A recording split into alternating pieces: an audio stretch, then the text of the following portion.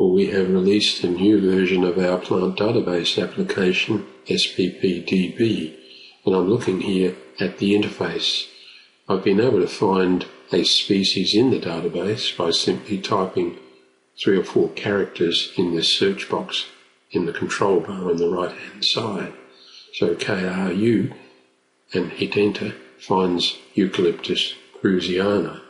Now, not all the information about this species is here, but we can fill information out from a series of drop down lists. So, if this particular plant has, say, grey silver foliage, and we want to emphasize that in our future search, or maybe it's showy flowers, or some other characteristic that you want to use, you can go to basic data and ornamental features, and you can add whatever you want to that list.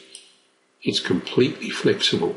You can now type and add new records to the drop down lists that belong to every one of these. So conditions here, dry conditions, full shade and so on, uh, there, but again the same applies. If you don't like the terminology that we've used here, you can either add new terminology or alter the existing one by simply going basic data and conditions here and you have a full list of information that's going to go in that drop down list.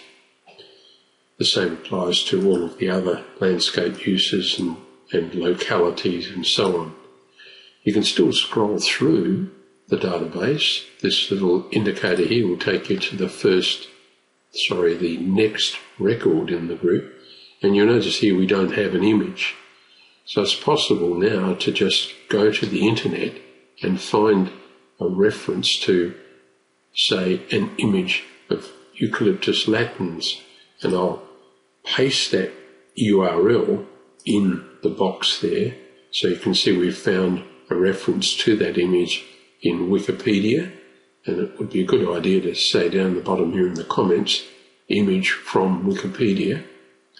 We sponsor Wikipedia by giving them a monthly um, donation, but it's still a good idea to acknowledge the benefit. So I can then click download and now save. You can save the images wherever you want on your computer, and uh, I try and be consistent about that.